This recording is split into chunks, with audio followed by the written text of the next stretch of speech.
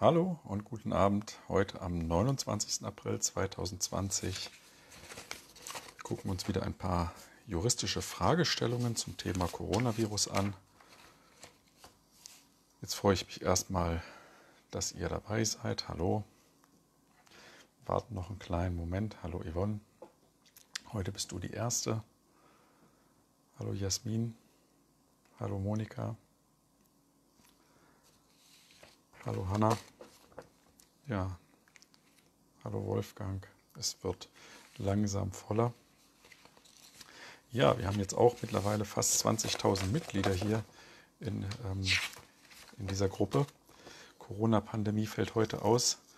Die habe ich eigentlich, ich weiß gar nicht wann, Anfang März, glaube ich, gegründet. Da war ich noch in Mallorca, weil ich ähm, eben so, so kritisch mir die Sachen angucken wollte, was da alles so veröffentlicht wird und nicht geglaubt habe, dass alles, ähm, was so gesagt wird, auch richtig ist. Und ich habe dann dieses Video von dem Herrn Dr. Wodak gesehen und habe mir überlegt, ähm, das klingt für mich plausibel und das gucke ich mir mal an und ich versuche da mal etwas nachzuverfolgen.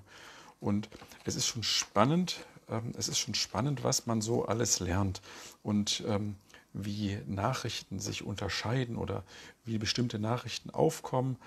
Es kommt ja jetzt vermehrt diese Nachricht, also das ist jetzt noch nichts Juristisches, es kommt jetzt ja vermehrt diese Nachricht über die äh, mit der oder von der sogenannten ähm, Übersterblichkeit auf. Die Übersterblichkeit ist ja ähm, im Durchschnitt sterben in Deutschland pro Tag 2300 Menschen und äh, im ähm, Winter oder im, Herbst und im Winter also Anfang des Jahres und Ende des Jahres aufgrund von Viren, meistens Influenza-Viren oder anderen Viren, sterben mehr Menschen und das heißt, es gibt eine sogenannte Übersterblichkeit, das heißt also mehr Menschen als zu dem Zeitpunkt ähm, im Durchschnitt oder erwartet wird.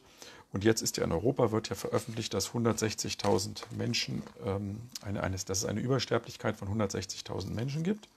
Ähm, und ähm, jetzt kommen aber auch die, die anderen Argumente, die sagen, naja, aber guckt euch doch mal an, wer da tatsächlich gestorben ist und dass von denen, die gestorben sind, ja nur ein ganz kleiner Teil, ähm, ein bestimmter Ausschnitt an ähm, Corona gestorben ist oder mit Corona. Das heißt also, die Übersterblichkeit kann möglicherweise aus etwas anderem bestehen. Sie muss es nicht. Es kann durchaus sein, dass durch Corona viele Menschen in den anderen europäischen Ländern gestorben ist. Es kann aber auch sein, dass durch die Maßnahmen, die getroffen worden sind, viele Menschen gestorben sind. Und deswegen ähm, deswegen wir eine Übersterblichkeit haben. Das heißt, ohne eine genaue Untersuchung wissen wir das nicht. Und das ist, glaube ich, eins unserer wesentlichen Probleme, warum auch ihr alle hier seid, warum so viele Menschen hier sind, warum so viele Menschen mittlerweile ähm, in unsere Partei Widerstand 2020 eingetreten sind, warum so viele Menschen sich so unbehaglich fühlen, weil immer wieder bestimmte Dinge behauptet werden, ohne dass es dafür ähm, ja, valide Daten gibt oder einen Nachweis gibt. Und der Nachweis dann immer hinterhergebracht wird und hinterher es dann häufig ein bisschen anders aussieht, als es im Vorfeld erzählt worden ist. Und das ist, glaube ich, so ein bisschen eine Problematik und ähm, an der arbeiten wir uns gerade alle ab. So, jetzt sind viele Leute da. Hallo Janosch. Ähm, wir ähm, fangen an mit dem Thema Bundesverfassungsgericht und Gottesdienste.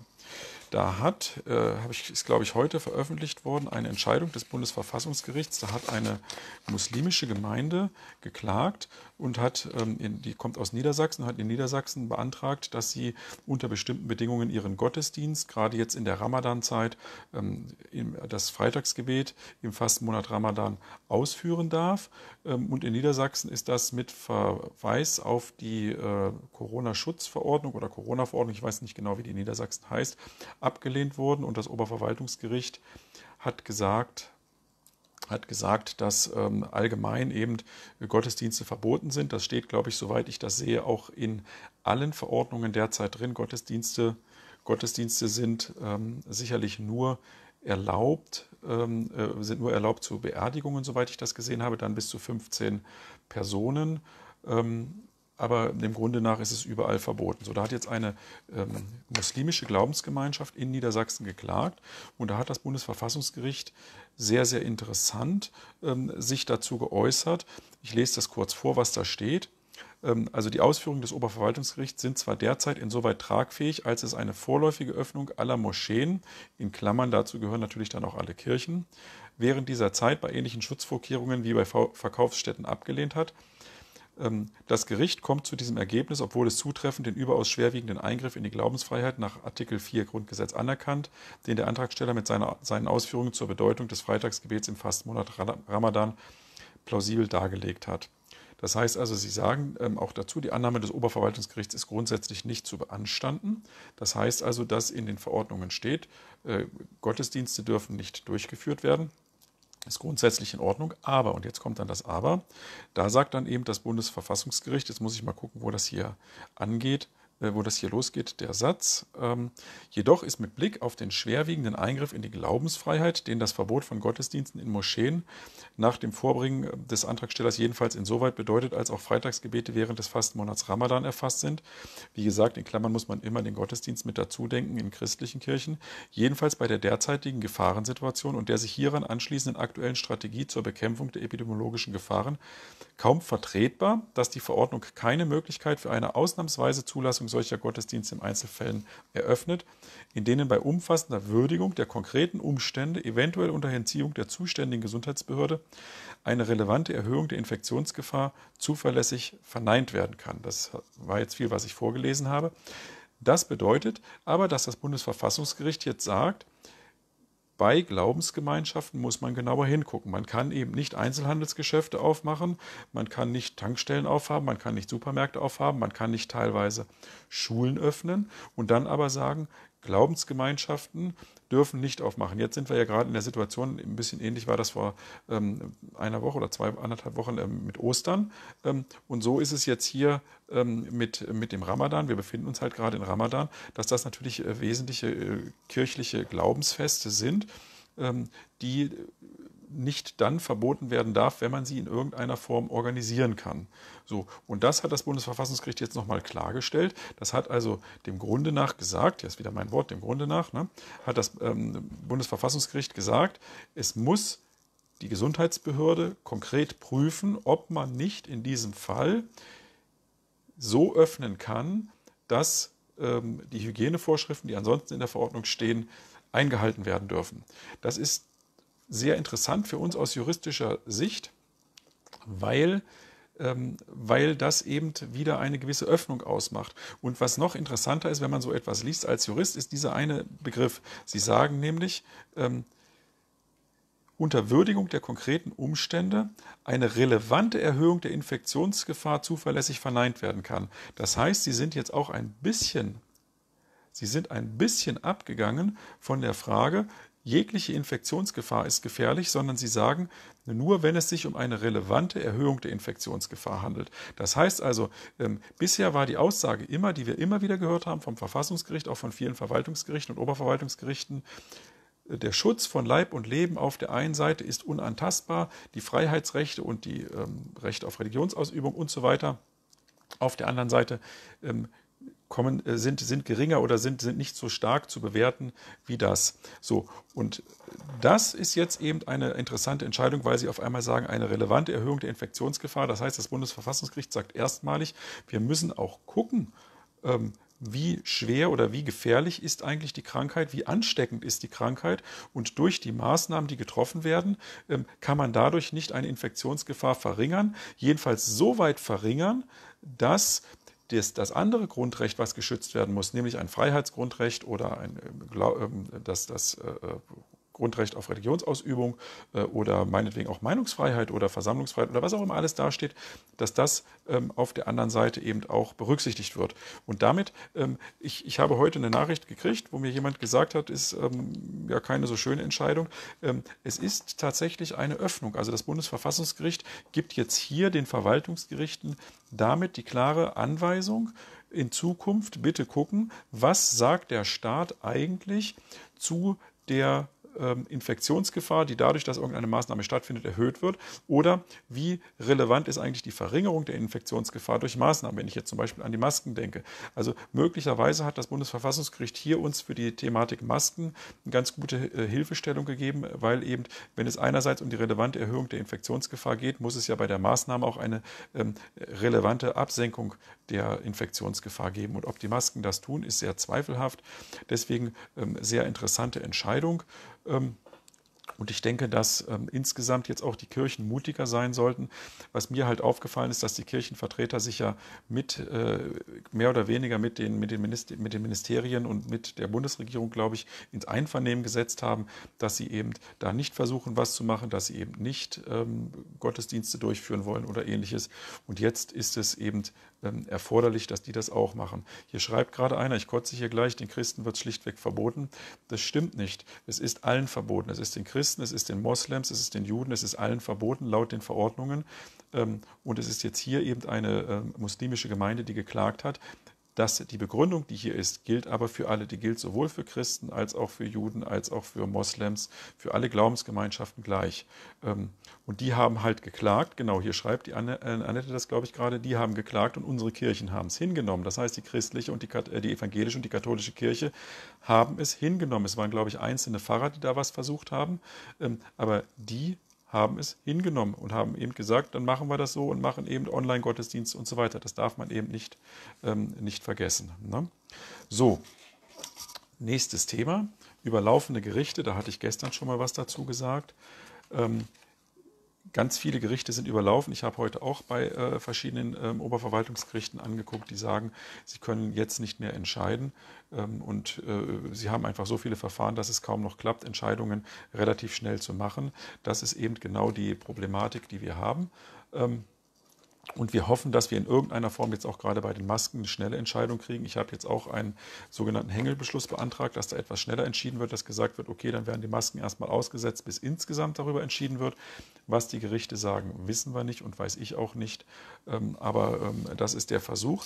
Jetzt habe ich aber hier ähm, eine Nachricht, das ist, glaube ich, Hallo Niedersachsen, NDR.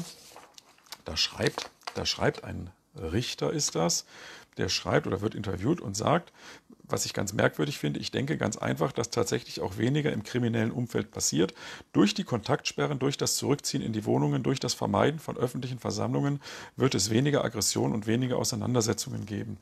Da gibt es ganz viele Psychologen ähm, und ähm, Jugendämter und äh, Sozialarbeiter, die genau das Gegenteil sagen. Die sagen, dass in den Familien jetzt häufig eben äh, viele Gewalttaten passieren. Das heißt, häufige, häusliche Gewalt findet statt. Sie findet an Kindern statt, sie findet an Frauen statt, teilweise auch an Männern, ähm, aber statistisch gesehen eben mehr an, an Frauen und Kindern. Das heißt also, hier ist ein Richter, ich finde relativ weltfremd, der sagt, jetzt gibt es weniger Kriminalität durch die, ähm, durch die Kontaktsperren und durch das Zurückziehen in die Wohnungen. Ähm, das kann ich mir, mir kaum vorstellen. Das andere Interessante, was er hier ähm, in, dieser, in diesem Interview gesagt hat, das ist ähm, der Übergang dann auch ähm, zum nächsten Punkt. Der sagt nämlich, die Corona-Krise werde die Justiz verändern oder längst überfällige Veränderungen beschleunigen. Sie werde aber auch ganz neue Probleme bringen, mit denen sich dann wiederum Richter beschäftigen müssten. Durch die Krise sind viele in Insolvenz gegangen oder zumindest in arge wirtschaftliche Schwierigkeiten geraten. Und nach dem Infektionsschutzgesetz wird es Entschädigungsklagen gehen. Die gehen jetzt auch schon bei uns ein. Es wird zunehmen. Das heißt also, die Gerichte, diese über, dass, dass die Gerichte überlaufen sind, ähm, das ist nicht nur jetzt so, äh, nicht nur jetzt in der Corona-Zeit, also wo wir ja auch nicht wissen, wie lange das noch dauert, sondern es wird auch im Nachhinein sehr, sehr viele Verfahren geben. Das heißt also, unsere Gerichte sind einfach zu. Wir wissen letztlich nicht, ähm, wie das alles zu bearbeiten ist. Also wir brauchen eine Menge mehr Richter, gerade auch die ähm, na, die Schadensersatzsachen, die Entschädigungssachen, die kommen werden, ähm, die werden recht heftig sein. Ich denke, dass es sehr viel sozialrechtliche Auseinandersetzungen geben wird, dass möglicherweise viel, viel mehr Menschen Hartz IV beantragen werden müssen und ähnliches. Das heißt also, ich glaube eher, dass die Gerichte sehr, sehr viel zu tun haben werden. Ähm, und ähm, Straftaten, denke ich, gibt es auch noch genug. Wir können uns ja dann mal die Statistiken später angucken. Ähm, aber im Prinzip, was er da sagt, halte ich für, ähm, für nicht richtig. So, dann habe ich noch eine Entscheidung gefunden, die ist schon von letzter Woche, aber ich habe die bisher noch nicht besprochen. Die ist vom Oberverwaltungsgericht ähm, Schleswig-Holstein. Da ging es um die Frage, ähm, ob Outlet-Center ebenfalls öffnen dürfen wie die Geschäfte, wie, wie andere Geschäfte. Da war das in äh, Schleswig-Holstein verboten und da hat ein Outlet-Center geklagt. Und das ist jetzt interessant für alle die von euch, die auch kleine Geschäfte haben, die derzeit noch geschlossen sind, möglicherweise auch für Gaststätten und so weiter. Weil die Tendenz, die wir jetzt von den Gerichten spüren, ähm, die wird gerade, die, die verdeutlicht sich gerade. Ich werde das gleich nochmal. Ähm, ich werde das gleich nochmal ähm, äh, insgesamt zusammenfassen, aber die Tendenz wird deutlicher. Nämlich, da sagt das Oberverwaltungsgericht Schleswig-Holstein, ähm, zwar verwehrt, wie ausgeführt, Artikel 3 Grundgesetz, also Gleichheitsgrundsatz, dem Verordnungsgeber nicht jede Differenzierungen. Differenzierungen bedürfen jedoch stets der Rechtfertigung durch Sachgründe, die dem Ziel und dem Ausmaß der Ungleichbehandlung angemessen sind. Vorliegend fehlt es jedoch am Vorhandensein eines sachlichen Rechtfertigungsgrunds für die Ungleichbehandlung der Antragsgegnerin, äh, Antragstellerin mit den anderen aus, äh, aufgeführten Verkaufsstellen des Einzelhandels. Das heißt also, die sagen erstmal, was ist der Unterschied zwischen einem Outlet-Center mit maximal 800 Quadratmeter und eben einem Geschäft in der Innenstadt. Und da sagt das Gericht nochmal relativ deutlich, es ist nicht erkennbar, warum die Umsetzung besonderer Hygiene- und Zwangsmaßnahmen, äh, Zugangsmaßnahmen zur weiteren, Zwangsmaßnahmen ist witzig, ne? Zugangsmaßnahmen zur weiteren Eindämmung des Coronavirus in einem Outlet-Center nicht mindestens ebenso gewährleistet sein soll wie in Ladenlokalen in Fußgängerzonen, Einkaufsstraßen und innerhalb von Einkaufszentren. Die Antragstellerin hat zur Beschränkung des Zugangs von Kunden relativ viele Dinge getan, dann zählt die das auf, was die getan haben. So, das ist ja genau jetzt dieser Punkt. Wenn Einzelhandelsgeschäfte aufmachen dürfen, warum darf dann nicht auch ein Outlet-Center aufmachen? Wenn Friseure aufmachen dürfen, warum dürfen nicht Nagelstudios aufmachen? Das heißt also genau diese Frage, die wir haben.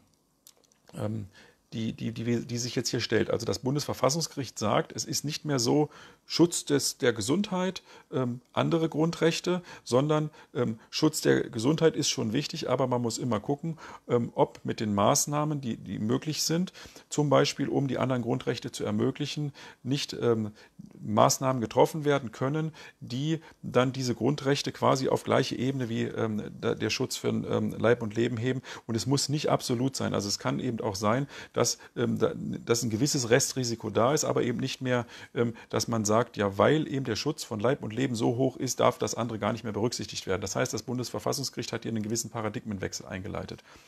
Und dieser Paradigmenwechsel wirkt sich jetzt darauf aus, dass man immer guckt, was ist gleich und was ist nicht gleich.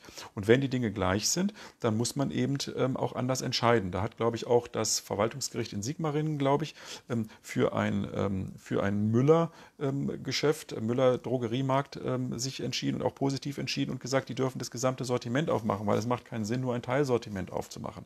Also das heißt, es passiert gerade was. Es ist relativ viel Bewegung drin. Die Bewegung kommt natürlich über die Unternehmen und die Geschäfte, aber genau genauso ist es natürlich auch bei den, ähm, bei den kleineren Geschäften. Und das, ähm, da denke ich, ähm, das ist halt langsam, aber es wird jetzt passieren. Und da müssen wir halt rangehen. Wir müssen jetzt gerade auch in nächster Woche, wo es in einigen Bundesländern zum Beispiel erlaubt ist, dass eben äh, Nagelstudios oder ich glaube auch Fußpflege, äh, Fußpfle Fußpflegen und so weiter geöffnet haben und in anderen nicht, ähm, dass wir da eben etwas tun. Ähm, ich sehe das hier mit den Fitnessstudios, sehe ich genau das Gleiche. Und auch hier müssen die Fitnessstudios einfach weitermachen. Immer wieder Verfahren stellen, Verfahren stellen, ähm, sich wehren um im Zweifel natürlich auch Schadensersatzansprüche haben zu können. Das ist jetzt nochmal ähm, der Übergang in die, ähm, ins nächste Thema. Bekomme ich irgendwie Entschädigung? Ähm, ich habe mal auf der Seite von anderen äh, Anwaltskollegen ein bisschen rumgesucht und nochmal ähm, geguckt, ob meine Meinung, die ich dazu habe, ob die sich irgendwie da auch wiederfindet. Und es gibt Kollegen in einer anderen Kanzlei, das werde ich auch nochmal veröffentlichen, die sagen auch, dass ähm, Paragraph 56 ähm, Infektionsschutzgesetz dem Grunde nach ähm, analog angewandt werden muss. Analog heißt, ähm, es muss auch auf andere Fälle angelegt, äh, äh, angewendet werden. Darin steht nämlich, wer aufgrund dieses Gesetzes als Ausscheider, Ansteckungsverdächtiger, Krankheitsverdächtiger oder als sonstiger Träger von Krankheitserregern im Sinne von 31 Satz 2 verboten in der Ausübung seiner bisherigen Erwerbstätigkeit unterliegt und unterworfen wird und dadurch einen Verdienstausfall erleidet, erhält eine Entschädigung in Geld. Das heißt also, derjenige, der krank ist oder als Ansteckungsverdächtiger gilt und deswegen zum Beispiel eine Quarantäne hat, der kriegt eine Entschädigung in Geld, zum Beispiel auch der Selbstständige oder der Unternehmer. Der, der das nicht hat und aber wie wir dennoch in solche Situationen gebracht wird, der kriegt keine Entschädigung und deswegen sagen viele Kollegen, dieser Paragraph 1, 56 Infektionsschutzgesetz muss analog auf alle anderen Unternehmen auch angewandt werden.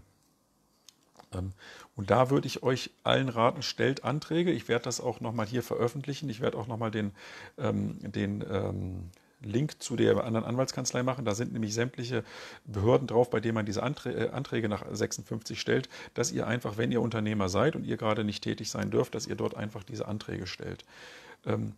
Dann gibt es noch den 1a. Das ist für diejenigen, die, die Kinder haben. Das heißt also, wer Kinder hat und deren Kinder nicht derzeit nicht betreut werden können in Schule oder Kindergarten, der hat einen Anspruch auf Entschädigung, jedenfalls für die Zeit, die nicht Ferien sind. Das heißt also, wenn die Kinder zu Hause sind und ihr deswegen nicht arbeiten könnt, bekommt ihr von ähm, über euren Arbeitgeber unter bestimmten Bedingungen. Das heißt, ihr müsst möglicherweise erstmal Urlaub nehmen oder müsst nachweisen, dass euer äh, Partner nicht äh, auf die Kinder aufpassen kann. Wenn ihr alleinerziehend seid, geht das ja schon nicht. Das heißt also, ähm, wenn ihr eben Kinder habt und deswegen nicht arbeiten gehen könnt, dann könnt ihr bei eurem Arbeitgeber eine ähm, Entschädigung beantragen. Der, Entschäd der Arbeitgeber ähm, zahlt dann den Verdienstausfall für die ersten sechs Wochen in Höhe des tatsächlichen Verdienstausfalls. Der kann sich dann von der zuständigen Behörde das wiederholen. Und nach sechs Wochen gibt es dann 67 Prozent. Ich glaube, das soll jetzt demnächst erhöht werden. Ähm, das heißt also, da gibt es dann eben, äh, wenn die Kinder nicht, äh, wenn die Kinder nicht in die Kita oder in die Schule gehen können und ihr deswegen nicht arbeiten könnt, ähm, könnt ihr eine solche Entschädigung Entschädigung bei eurem Arbeitgeber beantragen. Das ist ähm, Paragraph 56 1a Infektionsschutzgesetz. Also das ist, ähm, ist nochmal eine Sache, die ich sagen wollte. Ähm, jetzt kommt hier relativ häufig die Frage, wann, ähm, wann hört das endlich auf mit, ähm, mit den ganzen Verordnungen oder mit diesen ganzen Maßnahmen. Ähm, das ist natürlich eine, eine politische Frage. Juristisch kämpfen wir immer nur Punkt für Punkt durch. Also wir gehen mehr oder weniger gegen bestimmte Fragen. Also juristisch muss es immer einen, einen Anlass geben, weswegen wir vor Gericht gehen. Das heißt also, jemand hat eben ähm, irgendein Gewerbe und möchte, dass das Gewerbe aufgemacht wird. Jemand möchte eine Demo machen und wir kämpfen für die Demo oder klagen darauf, dass die Demo gemacht wird. Oder eben wie diese äh, muslimische Gemeinde, die möchte einen Gottesdienst machen und klagt dann darauf, dass sie einen Gottesdienst machen darf und so weiter. Das sind alles immer nur Einzelfallentscheidungen, die sich natürlich gesamt auswerten können. Also so äh, zum Beispiel wie ja gestern das ähm, der Verfassungsgerichtshof im Saarland entschieden hat, der ja gesagt hat, ähm, als Verfassungsgerichtshof, ähm, die Ausgangssperren in oder die Ausgangsbeschränkungen im Saarland sind rechtswidrig, die müssen aufgehoben werden, dann gilt es natürlich für alle. Wie das jetzt in Bayern passiert, weiß ich nicht. Ähm, ich weiß auch nicht, wie eure Situation in Bayern ist, weil ja in Bayern steht ja drin, ähm, aus triftigem Grund darf man raus und das hatten ja schon die Richter vom Verfassungsgerichtshof in Berlin gesagt. Was ist denn ein triftiger Grund? Also willst du dein Kind treffen oder dein Enkelkind oder wen auch immer, ist das doch ein triftiger Grund. Ähm, also ähm, relativ viele triftige Gründe gibt es eigentlich. Also ich hatte, für mich persönlich war das so, ich komme ja hier aus Sachsen, ähm, hier war ja bis zur letzten Verordnung auch, stand ja drin, aus triftigem Grund, nur aus triftigem Grund darf man rausgehen. Wenn man aber hier in Leipzig rausgegangen ist, waren die Straßen voll. Also es waren immer Menschen draußen. Also ganz viele Menschen hatten triftige Gründe und das, so ich, soweit ich das gesehen habe, wurden auch quasi niemand kontrolliert. So, und dann haben sie die triftigen Gründe aufgehoben und haben uns die Maskenpflicht gegeben. Das heißt also, de facto haben wir hier in Sachsen eine, ähm, eine Verschlechterung und nicht eine Verbesserung bekommen. Wir können aber nicht gegen die gegen, gegen die Verordnung als solche vorgehen, weil jeder muss ähm, einen Anlass haben. Das heißt also, man muss antragsbefugt sein. Und antragsbefugt ist, dass man selbst davon betroffen ist. Und wir sind ja nicht möglicherweise nicht von allen Sachen betroffen. Also natürlich sind wir irgendwie mittelbar betroffen, wenn der Friseur nicht aufhat oder so, aber wir können eben nicht gegen alles vorgehen. Wenn wir keine Kinder haben, können wir nicht dagegen vorgehen, dass die Schulen geschlossen sind zum Beispiel. Oder wenn wir nicht auf Hochschulen sind, können wir nicht dagegen vorgehen, dass die Hochschulen geschlossen sind. Sondern wir brauchen für alle ähm, für alle einzelnen Bereiche immer wieder Kläger und Antragsteller, die das machen.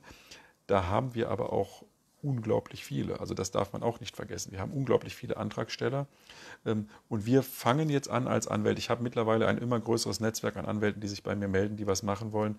Ähm, und wir, ich denke, wir sind sehr gut dabei, die Gerichte auch davon zu überzeugen und die Gerichte dafür zu sensibilisieren, dass die ähm, dass das, was hier passiert, dass die Maßnahmen eben nicht mehr, ähm, nicht mehr so, so äh, tragen, wie das hier behauptet wird. Und das ist ja im Prinzip genau das, was ich gesagt habe, ähm, was das Bundesverfassungsgericht hier sagt, dieser Begriff, eine relevante Erhöhung der Infektionsgefahr. Das ist total spannend, weil das ist eigentlich ein Paradigmenwechsel. Und das ist, ähm, das ist eben das, was jetzt demnächst und auch in den in den nächsten Wochen, denke ich, passiert. Also es gibt Leute, das ist natürlich gucken in die Glaskugel, es gibt Leute, die mir gesagt haben, ähm, das wird nicht mehr lange dauern, wir werden in ein, zwei Wochen, wird das hier alles vorbei sein. Ob das so ist, weiß ich nicht. Ähm, hier kommt auch häufiger, das sehe ich gerade, ähm, häufiger dieses ähm, Seniorenheim-Besuchserlaubnis. Ähm, da kann ich auch nicht viel zu sagen. Das Problem ist ja, das Problem ist ja, dass es im Prinzip auf die Heimleitungen übertragen ist. Das heißt, die Heimleitungen müssen entscheiden, ob jemand ähm, ob jemand eine Besuchserlaubnis kriegt oder nicht. Und das macht es halt eben so, so relativ schwer. Ne? Das heißt also, wir müssen ähm, wir müssen dort bei der Heimleitung nachfragen. Und wenn die Heimleitung Nein sagt, dann ist es eben relativ schwierig, weil es ist, das ist ja das, was, was uns alle so stört, auch mit den Masken, dass man im Prinzip ja den, den ähm, Geschäften oder bei den Heimen halt den Leitungen die Pflicht gegeben hat, zu überprüfen, ob jemand äh, Besuchsrecht hat oder nicht. Und das macht es natürlich so unglaublich schwer, weil es am Ende ist es Hausrecht. Ne? Und dieses Hausrecht, wir können gegen dieses Hausrecht relativ schwer vorgehen. Wir können das natürlich versuchen, aber das ist eben eben relativ schwierig. Die Irene fragt jetzt hier gerade, kann man für Musikschulöffnungen klagen, ähm, wenn man dort arbeitet?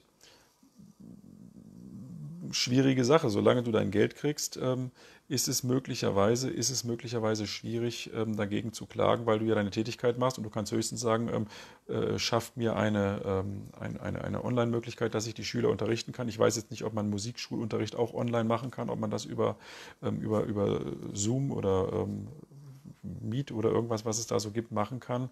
Ähm, das, das weiß ich natürlich nicht. Also im Prinzip, solange du als, als äh, Lehrerin davon nicht betroffen bist, als Musikschullehrerin, äh, so direkt, außer dass du eben den Musikschulunterricht nicht machen kannst, ähm, ist es relativ schwer, da, da einen Anlass zu finden. Das müssten eher schon die Schüler sein, die sagen, wir wollen gerne wieder in die Schule. Ähm, noch ein Punkt hier, was, ähm, was hier jetzt auch immer wieder hochkommt, so dieses Thema ähm, der neue Präsident oder der derzeitige Vizepräsident, der ja wahrscheinlich der neue Präsident des Bundesverfassungsgerichts wird, der wird das alles ablehnen. Also der, der Präsident des Verfassungsgerichts ist nur ähm, eine ähm, organisatorische Aufgabe. Der steht nicht über den anderen. Der ist nicht, der ist genauso nur eine Stimme, wie die anderen auch eine Stimme sind. Das heißt also, ähm, der ist nur der quasi der, der Verwaltungschef des Verwal Verfassungsgerichts. Das stimmt nicht ganz. Er hat auch bei uns eine besondere Rolle, ist, glaube ich, der vierte Mann im Staat. Das heißt also, ähm, die, die höchste Position hat, ähm, denke ich, soweit äh, muss ich aufpassen, nicht, dass andere Juristen mich hier jetzt dann kritisieren, ist ähm, der Bundespräsident. Zweite, äh, zweithöchste Amt im Land ist der Bundestagspräsident. Dritthöchste Amt ist der Kanzler. Vierthöchste Amt ist der Präsident des Verfassungsgerichts. Aber der hat natürlich auch nicht mehr zu sagen als die anderen auch. Ähm, genau. So, ähm, was wollte ich noch sagen? Äh, genau, ich habe jetzt hier noch ein Thema, da wurde auch gefragt nach den ähm, befangenen Richtern. Ähm, ja, ich habe Befangenheitsanträge, ich habe keinen Befangenheitsantrag gegen die Richter gestellt, sondern ich habe die Richter ähm, gebeten, dass sie sich selbst als befangen ablehnen, weil sie ja über sich selbst entscheiden. Sie haben aber, ähm, sie haben aber dazu hier in Sachsen gesagt, sie halten sich nicht für befangen. In Bayern haben sie überhaupt nichts dazu gesagt. Ähm, und das müssen wir uns einfach mal angucken. Das geht zum Verfassungsgericht. Und es ist, es ist eine schwierige Situation. Ich habe mit vielen Juristen darüber äh, gesprochen und ähm, viele Juristen sehen das auch so, dass mein Antrag äh, richtig ist und manche wollen das jetzt auch stellen. Ähm, aber dem, dem äh, Grunde nach ähm, sind, äh, haben, wir, haben sie jetzt erstmal gesagt, wir sind es nicht und wir werden es dann vom Verfassungsgericht klären, ob die Richter eigentlich hätten entscheiden dürfen oder oder nicht. Dann hatte ich noch eine, äh, eine Frage gelesen, da ging es um die äh, Pressevertreter, ähm, ob, die, ob den Pressevertretern ein Platzverweis während einer Versammlung erteilt werden darf. Jein äh, oder andersrum ganz klares Ja. Jedem darf ein Platzverweis erteilt werden, wenn es denn erforderlich ist. Allerdings ähm, äh, unterliegt der Vertreter des Presserechts in dem Moment ja nicht ähm, dem Versammlungsrecht, sondern eben ähm, der Pressefreiheit. Und das heißt, ähm, der darf natürlich nur aus anderen Gründen zurückgeschickt werden. Das heißt, wenn eine Versammlung aufgelöst wird von, durch die Polizei, darf die Polizei den Versammlungsteilnehmern einen Platzverweis erteilen. Ähm, sie darf aber nicht den Pressevertreter einen Platzverweis erteilen auf, aufgrund der Auflösung der Versammlung, weil der ähm, Pressevertreter soll ja genau über diese Versammlung oder über das, was danach passiert, berichten. Ähm, und deswegen darf er das. Und das heißt, dem darf eigentlich nur ein Platzverweis erteilt werden, wenn er sich selber in Gefahr begibt. Ähm, ja, eigentlich nur, wenn er sich selber in Gefahr begibt oder wenn dort eine Gefahrenlage ist und gesagt wird, geh jetzt besser weg, weil sonst hast du, ähm, hast du Probleme. Ähm, sonst ähm, ist ein Platzverweis für einen Pressevertreter dem Grunde nach nicht, nicht zulässig ähm, im Rahmen einer Versammlung. So, genau, jetzt habe ich hier noch stehen, genau Ende der Maßnahmen. Das ist genau das, was ich sage. Wann das Ende der Maßnahmen kommt, wann das absehbar ist, wissen wir nicht. Wir kriegen ja auch immer wieder neue Nachrichten. Es wird hier jetzt, also das ist, ist finde ich, ist sehr auffällig. Jetzt soll ja morgen, glaube ich, über die neuen Verordnungen wieder diskutiert werden. Und ähm, jetzt kommen wieder ganz viele Horrormeldungen. Irgendwelche, jetzt werden auf einmal Kinder krank oder es gibt irgendwie eine Kawasaki-Krankheit für Kinder. Ähm, das finde ich auch auffällig, dass da relativ viele Dinge jetzt auf einmal äh, hochkommen und wie schlimm das alles ist. Und die, dieser, ähm, dieser ähm, Reproduktionswert ist auf einmal gar nicht mehr so relevant. Äh, es ist also ähm, es ist also ähm, relativ, äh, relativ ungreifbar, was, was jetzt eigentlich der Grund ist für die Maßnahmen oder ähm, was der Grund wäre, die Maßnahmen aufzuheben. Das ist, übrigens, das ist übrigens genau das, was bei den Gerichten gerade auch passiert. Wir fragen jetzt als Juristen immer nach und sagen, was ist eigentlich, was ist der, der, der Maßstab, nachdem eine Maßnahme eingerichtet wird oder eine Maßnahme zurückgenommen wird. Und da können die Politiker gerade oder auch die, die, die Ministerien überhaupt nichts zu sagen. Das ist genau das, was, was ähm, gerade passiert. Und da werden wir immer besser und immer, ähm, kriegen immer bessere Entscheidungen ja auch am Ende jetzt raus. Und ich denke, das, ähm, das ist das in die, in die Richtung, in die wir jetzt gerade gehen. Morgen, nee, nicht morgen, am Samstag wird es in äh, Stuttgart, soweit ich das mitbekommen habe, eine relativ große Demo geben. Ähm, am, auf der Demo werde ich dann auch ähm, als Redner da sein. Ähm, da sollen schon recht viele Menschen kommen. Ich will jetzt keine Zahl sagen, weil das muss der Veranstalter letztlich mit, den, ähm, mit der Versammlungsbehörde dort klären. Äh, aber es werden immer mehr Menschen, die auch auf die Straßen gehen. Es werden immer mehr Menschen, die sich beteiligen. Ähm, wir können das Ganze aber nur, nur politisch lösen. Äh, die Gerichte sind überlaufen, die arbeiten nicht mehr, nicht mehr äh, wirklich stark. Also die sagen jetzt auch, also das kriegen wir ja mit, die sagen, geht zu den Verfassungsgerichten, aber dann sind die Verfassungsgerichte irgendwann überlaufen. Möglicherweise gibt es relativ schnell einen Umschwung, dass dann gesagt wird, so ähm, Ende. Jetzt, es gibt keine Belege mehr. Ähm, der, der Staat muss beweisen, dass hier tatsächlich eine hohe Infektionsgefahr besteht und beweist der Staat das nicht, dann heben wir die Sachen auf. Das kann durchaus sein, dass die Gerichte das irgendwann machen. Ich glaube jetzt nicht so schnell daran. Ähm, aber dem, wir, sind an dem Punkt, dass, dass die Gerichte auf jeden Fall anfangen, darüber nachzudenken. Und dadurch wird aber auch wiederum Druck auf die, ähm, auf die Politik ausgeübt. Und die Politik muss dann eben irgendwann nachziehen. Ähm, jetzt ist hier nochmal die Frage, wann und wo findet diese Demo statt.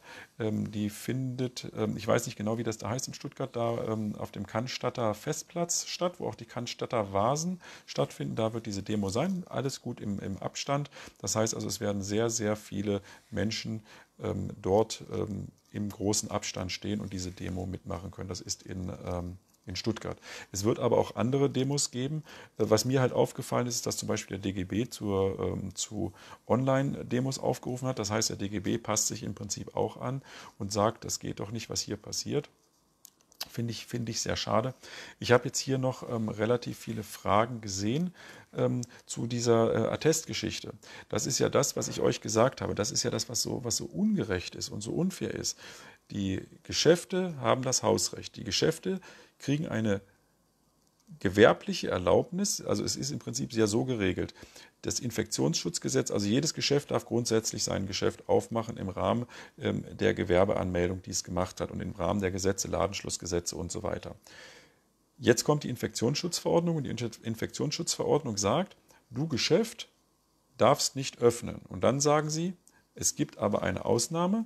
Unter folgenden Ausnahmen darfst du, du musst ein, meinetwegen ein ähm, Lebensmittelgeschäft sein, darfst nicht mehr als 800 Quadratmeter haben und du musst dafür sorgen, dass in deinem Geschäft die Kunden und die Arbeitnehmer Masken tragen oder die Arbeitnehmer durch irgendwelche äh, Vorrichtungen geschützt sind und die Hygienevorschriften eingehalten werden, dann darfst du aufmachen. Das ist erstmal die Regelung für das Geschäft. Das heißt, das Geschäft hat dem Grunde nach eine, ein Verbot, wenn diese Regeln nicht eingehalten sind. Was macht also das Geschäft? Es guckt nach, ob jeder diese Maske trägt. Und wer die Maske nicht trägt, der droht quasi mit dem Nicht-Maske tragen, wenn er in das Geschäft geht, dem Geschäft an, dass es geschlossen wird, wenn, ein, wenn jemand vom Ordnungsamt kommt. Und das bedeutet dann natürlich, dass die Geschäfte Angst haben und dann akzeptieren die Geschäfte nicht äh, die Atteste und nicht das, was du vorlegst. Und das ist halt Hausrecht. Wenn das passiert, müssen wir, müssen wir oder müsst ihr zu einem Anwalt gehen und versuchen, gegen die Verordnung zu klagen. Das Geschäft als solches, vielleicht, ähm, ich bin jetzt ähm, da zu wenig drin, es gibt ja auch die sogenannte Drittwirkung der Grundrechte. Möglicherweise, weil nicht alle Geschäfte gerade aufhaben, ist es erforderlich, dass die dass die äh, Geschäfte euch einlassen, auch ohne Maske, ähm, mit, mit diesem Attest. Aber das muss im Prinzip auch, das lässt sich am Ende gerichtlich klären, da muss man einen Eilantrag beim Amtsgericht machen und muss dann eben sagen, ich will hier in dieses Geschäft rein und kaufen. Und dann müsste man wahrscheinlich, aber wird das Amtsgericht sagen, naja, wenn dich Konsum nicht reinlässt, kannst du doch zu Rewe gehen, lässt sich Rewe auch nicht rein. Und dann musst du halt am Ende nachweisen, dass du in, was weiß ich, sieben, acht, neun, zehn Geschäften warst und alle Geschäfte gesagt haben, mit dem Attest kommst du hier nicht rein. Ähm, und dann hast du äh, eine Chance dagegen äh, klageweise vorzugehen.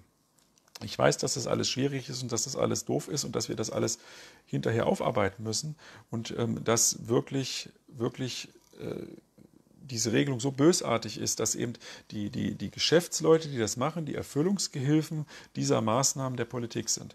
Das ist wirklich, wirklich schwierig. Das Einzige, was ich da nur empfehlen kann, diskutiert mit den Leuten in den Geschäften, lasst euch die, ähm, die, die Geschäftsführer holen, bittet darum, seid freundlich, seid nicht aufgeregt, sondern seid freundlich, bittet darum, dass die Geschäftsführer kommen, zeigt ihnen das Attest, sagt, hey, ich kann das nicht, ich bin krank, ich darf das nicht. Ähm, Im Zweifel ähm, bittet den Geschäftsführer in dem Moment, wenn er da ist, sagt doch einfach, Mensch, ruf doch mal das Gesundheitsamt an. Also wer so ein Attest hat, soll sich doch bitte äh, meinetwegen die, die ähm, Telefonnummer seines Gesundheitsamts oder die Telefonnummer des Arztes aufschreiben und im Zweifel soll derjenige bei der Polizei anrufen. Nicht 110, sondern bei der Polizei. Schreibt euch auch auf das Attest die Nummer der Polizei und sagt, ähm, hier, ich habe einen Attest, ähm, ich möchte bitte rein, ist es möglich? Und wenn dann eben dort anrufen. Das ist aufwendig, das ist doof, das ist wirklich, ähm, ja, nicht fassbar, aber ähm, das sind so die Möglichkeiten, die man anbieten kann. Ne? Weil wenn der Geschäftsmann oder die Geschäftsfrau euch nicht reinlässt, dann kommt er nicht rein dann der hat das Hausrecht. Ne? Der, der sagt, nee, jetzt erstmal geht es nicht rein. Und das ist eben die Schwierigkeit. Und ähm, ja, wer kann, setzt eine Maske auf. Wer das nicht kann, äh, sollte es eben auch nicht tun. Und das macht es aber natürlich extrem schwierig. Und möglicherweise auch mal die anderen, die Umstehenden ansprechen und denen das erzählen. Mal sehen, wie das, wie, wie das passiert. Ähm, ich weiß, äh, Manuela sagt das, bis dahin bin ich doch verhungert. Ich weiß, dass das schwierig ist. Ähm, ich weiß auch, dass die, dass die äh, Lieferdienste alle dicht sind, dass man da kaum was kriegen kann. Es ist extrem schwierig. Wir kriegen aber trotzdem, und da muss ich euch mal wieder Hoffnung machen, die Gerichte fangen an nachzudenken. Die Gerichte verändern gerade Dinge.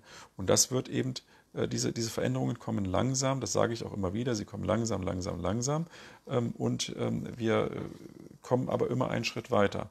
Was wir dann hinterher dann noch daraus machen, wie das hinterher aufbereitet wird, auch politisch. Ich meine, guck mal, das wird jetzt hier auch die ganze Zeit geschrieben. Ich will, das hier ist halt mein, mein juristischer Kanal. Ihr wisst, dass ich in dieser Partei Widerstand 2020 bin. Wir haben mittlerweile, glaube ich, 40.000 Mitglieder oder so. Das heißt, wir werden, wir wachsen da ja auch.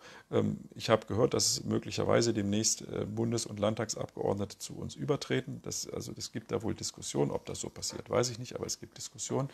Das heißt also, ähm, wir machen natürlich auch, wir versuchen natürlich auch politisch Dinge zu erreichen. Und ich glaube, je mehr da passiert, ähm, je mehr Druck da passiert, desto stärker denken die Politiker darüber nach, Dinge zu verändern. Ich habe ja in diese ähm, Unterlagen da aus Sachsen reingeguckt, wie Sachsen vor der ähm, vor der jetzt aktuellen Verordnung diskutiert hat. Und da war immer ein wichtiger Punkt, können wir das den Menschen noch vermitteln? Und je mehr Menschen zeigen, wir sind dagegen, je mehr Menschen zeigen, ähm, wir, wir wollen das nicht, wir wollen anderes, wir wollen unsere Freiheit wieder haben, desto schwieriger wird es für die Politiker, sich tatsächlich ähm, an diese Maßnahmen zu halten und diese Maßnahmen weiter, ähm, weiter voranzubringen. Und wir sind jetzt erstmal gespannt. Nächste Woche wird es wieder, wieder spannend, weil, wie gesagt, die Friseure aufmachen und dann die ganzen anderen kleinen Läden. Weil der, der Friseur ist ja dann im Prinzip der erste Laden, wo es zu einem körperlichen Kontakt kommt. Und das heißt, ich kann mir durchaus vorstellen, so wie die Gerichte jetzt auch mit diesen 800 Quadratmeter Sachen entschieden haben, dass ähm, wir da auch relativ viele Entscheidungen kriegen, die dann positiv sind, dass andere auch aufmachen können. Also für mich ist zum Beispiel nicht nachvollziehbar, warum ein Friseur aufmachen kann und dann ein ähm, Fitnessstudio zum Beispiel nicht. Warum soll das Fitnessstudio das nicht, nicht, nicht aufmachen können?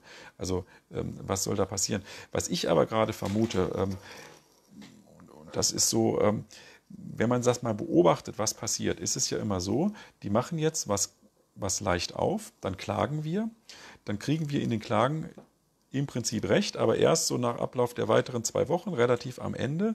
Dann wird aber auch häufig gesagt, ähm, jetzt hat ja das Bundesverfassungsgericht, äh, nicht das, das ähm, Bayerische Verfassungsgerichtshof, nee, Verwaltungsgerichtshof gesagt, ähm, das ist zwar verfassungswidrig, aber wird nicht ausgesetzt und dann kann die Regierung das oder die, die, die Politiker das eben für die nächste Verordnung umsetzen. Das heißt, sie, spar, äh, sie gewinnen dadurch nochmal zwei Wochen im Prinzip. Das ist so ein bisschen, glaube ich, der Trick, der gerade passiert. Sie machen ein bisschen was auf, sie wissen, dass es gleichheitswidrig ist.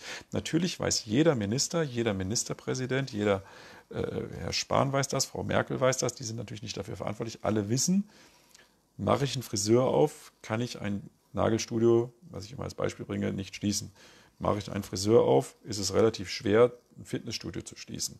Klar kommt dann immer das Argument, beim Fitnessstudio ist ja Sport und da atmet man schneller und dadurch kann das Virus schneller äh, verbreitet werden, gibt es aber auch keinen wissenschaftlichen Beleg dafür. Aber sie wissen das im Prinzip und sie wissen, dass es aber trotzdem länger dauert, ähm, bis das dann vor Gericht durch ist und bis sie es umsetzen müssen. Und ähm, das ist, glaube ich, gerade so der Trick. Susanne fragt gerade, wie lange kann man uns noch einsperren? Ich nehme an, du kommst aus Bayern, weil soweit ich weiß, Bayern das einzige Land ist, wo noch die Ausgangsbeschränkungen herrschen. Ich denke, die Ausgangsbeschränkungen in Bayern werden auch am Montag aufgehoben. Bin ich relativ sicher. Ähm, und ähm, genau, diese Maßnahmen, die werden jetzt gemacht. Und äh, es ist völlig klar, man sieht es ja jetzt auch an den Umfragen, äh, man sieht es an den Umfragen, dass es eben äh, in Richtung äh, Impfpflicht geht, dass also versucht wird, die Menschen davon dazu zu bringen, zu impfen. Ich bin weiterhin davon überzeugt, dass es das nicht geben wird, dass es eine verpflichtende Impfung nicht geben wird. Aber es ist äh, auf jeden Fall die Tendenz dahin. Und ähm, was, das, das, sehe ich auf jeden Fall. Ähm, und da müssen wir halt auch alle zusammenhalten und sagen, nein, Freiheitsrechte sind wichtiger. Und Freiheitsrechte müssen wir auf jeden Fall durchsetzen. So, das ist erstmal das von mir. Ähm, ja, morgen bin ich wieder da. Ich gucke mal, was es alles so gibt. Möglicherweise gibt es morgen was Neues zu den Masken. Ich werde auf jeden Fall bei den Gerichten, wo die Maskensachen eingereicht sind, ständig hinterher telefonieren und nachfragen und gucken ähm, und werde euch dann informieren, äh, wenn, da, wenn ich neue Erkenntnisse habe. Ähm, wenn irgendwas ist, einfach versuchen, Fragen zu stellen. Ich sage aber immer, wir haben so viel zu tun, wir machen sehr viel, wir, wir verteilen sehr viel, wir verteilen an Kollegen, aber ich kann leider nicht auf alles antworten. Ich würde super gerne alles beantworten und alles mir genauer angucken, aber es klappt leider nicht immer. Bis dann. Ciao.